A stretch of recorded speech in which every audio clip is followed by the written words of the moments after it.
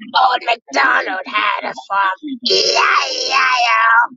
And on that farm he had a pig, E-I-E-I-O. Doctor, doctor, doctor.